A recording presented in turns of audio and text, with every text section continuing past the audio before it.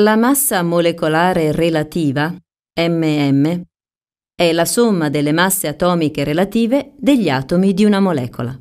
Ad esempio, il gas idrogeno ha massa molecolare pari a due volte la massa atomica relativa dell'idrogeno, ovvero 2,016 unità di massa atomica. L'acqua ha massa molecolare pari alla somma di due volte la massa atomica relativa dell'idrogeno e della massa atomica relativa dell'ossigeno.